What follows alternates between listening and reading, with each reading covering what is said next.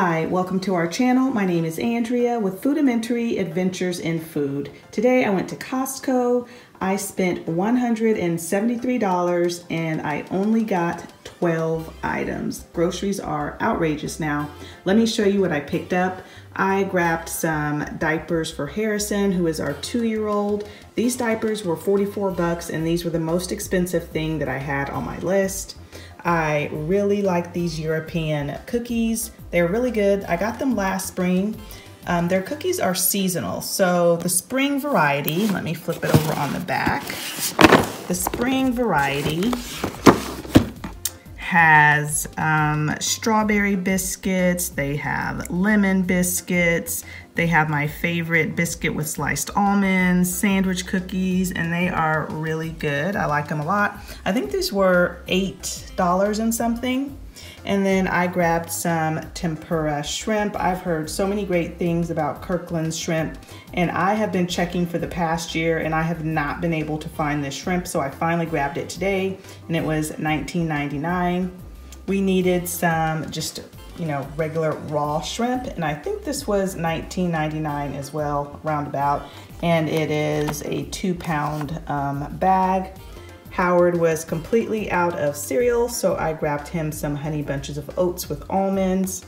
I grabbed a bag of Skinny Pop. Now, normally I get my organic popcorn from Aldi, but their bags of popcorn have gone up a lot at Aldi. I think their bags are like $3 and something now, and of course it's not this big. So I'm getting three times as much um, at Costco, and this was, I think, $6 and something. I grabbed my favorite ground beef. Their ground beef, I think it's $22, 91% lean, and these are frozen, and you get five little rolls in the bag. I needed some broccoli because we just eat a lot of broccoli with our meals. I grabbed Howard some avocados and these were $7 and some change. I am almost out of salsa, so I grabbed some Mateo salsa. It is really good. And then I have heard a lot of people talk about this Japanese barbecue sauce. You flip it over on the back. I think they are getting rid of this, clearancing it out because I did see the little um, asterisk by, um, or on the sign, I should say. This was $9 and something, and you can use it as a sauce, a marinade, veggies, rice. So Howard and I love Asian food and Asian flavors, so I'm hoping that we really like that sauce. And then I grabbed Howard some almonds, um, sorry, not almonds, cashews. And these were, I think they were $13.99 for two and a half um, pound bag of cashews. And he just snacks on these all the time. So this is everything that I picked up for $173.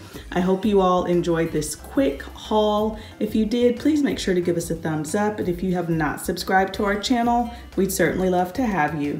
Thanks so much for watching and we'll see you all next time.